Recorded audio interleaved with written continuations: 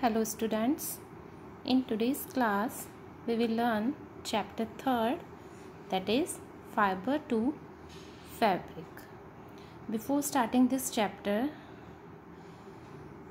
we will discuss about the two terms fiber and fabric.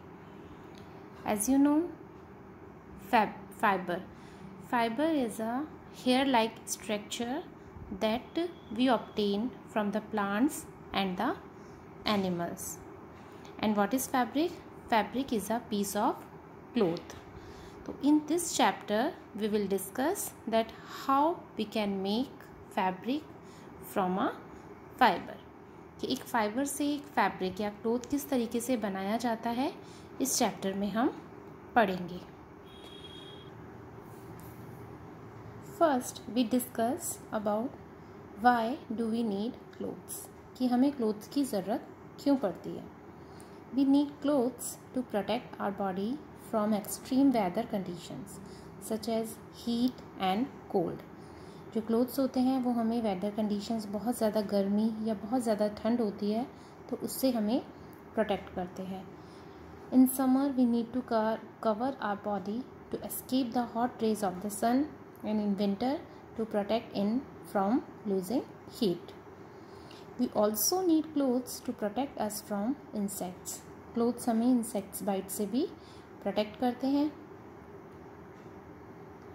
Early humans live just like wild animals and had lot of body hair for protections पहले ancient times में क्या होता था कि humans अपनी body को wild animals की जो स्किन होती थी, उससे कवर करते थे या लीव्स ट्रीज़ की बाक्स जो होती थी, उससे अपने आप को बॉडी को कवर करके रखते थे।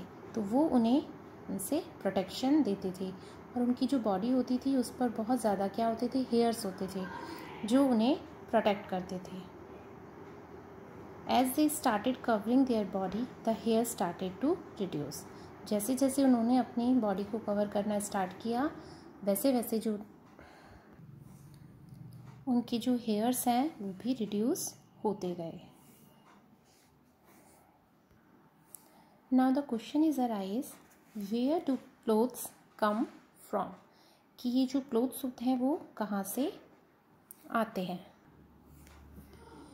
A fabric a cloth is made up of yarns arranged together जो फैब्रिक होता है, वो यान्स को यान्स मीन्स होते हैं धागे थ्रेड्स उनको एक दूसरे में अरेंज करने से आपका एक फैब्रिक बनाया जाता है।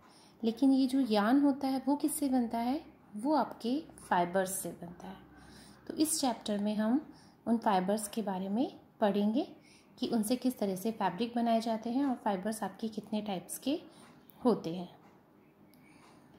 There are mainly two types of fibres natural fibres and artificial fibres natural fibres are we get from plants and animals natural fibres हम प्लांट्स और एनिमल्स से ले सकते हैं। So the fibres that we get from the plants and animals are called natural fibres and on the other hand the fibres that is made by the human is called artificial fibers, or we can say that is synthetic fiber. Synthetic fibres के आपके three names हो सकते हैं। इन्हें हम artificial fibres भी कह सकते हैं मैन मेड फाइबर्स भी कह सकते हैं एंड सिंथेटिक फाइबर्स भी कह सकते हैं। ये बहुत सारे केमिकल प्रोसेस के थ्रू आपके फैक्ट्रीज़ में बनाए जाते हैं। इसीलिए हम इनको मैन मेड फाइबर भी कहते हैं। बट जो नेचुरल फाइबर्स होते हैं, उन्हें हम डायरेक्ट प्लांट्स या एनिमल्स से ले सकते हैं।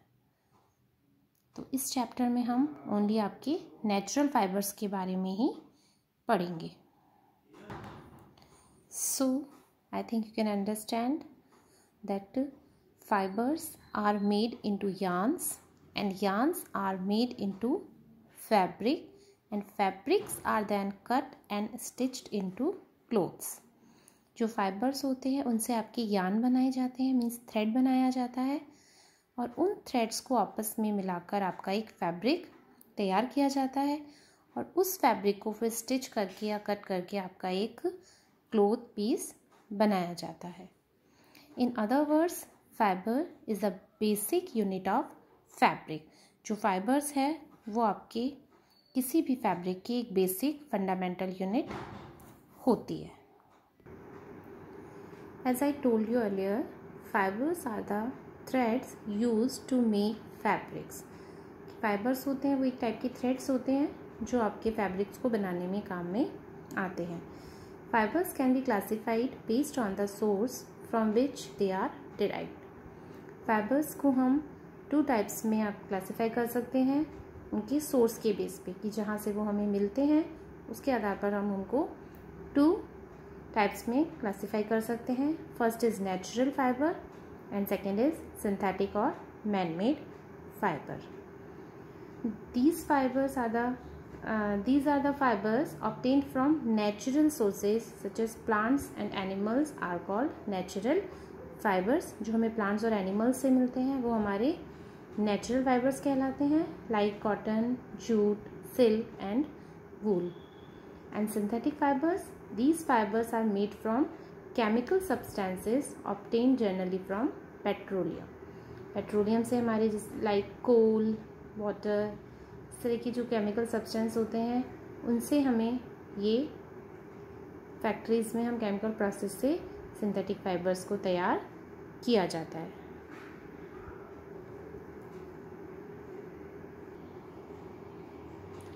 Natural fibers are further divided into plant and animal fibers. Natural fibres मैंने आपको बताया प्लांट्स और एनिमल्स से हमें मिलते हैं। तो उसके बेस पर भी आपकी ये टू टाइप्स के होते हैं plant fibres which we get from the plant and animal fibres which we get from the animal plants fibre are also called vegetable fibres in fibres को हम वेजिटेबल फाइबर्स भी कह सकते हैं। These fibres are obtained from different plants for example cotton fibres flax fibres jute fibres bamboo fibres and coconut hulls coconut पे आपने देखा होगा।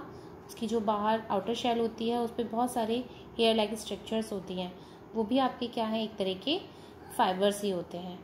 All these fibres are made of cellulose which is a carbohydrate ये जितने भी जो fibres होते हैं, ये आपके सेल्यूलोज के बने हुए होते हैं और इनके अंदर क्या होता है, एक टाइप का कार्बोहाइड्रेट होता है।